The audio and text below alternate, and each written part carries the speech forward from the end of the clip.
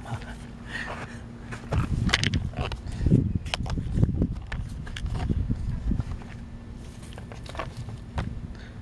Ah.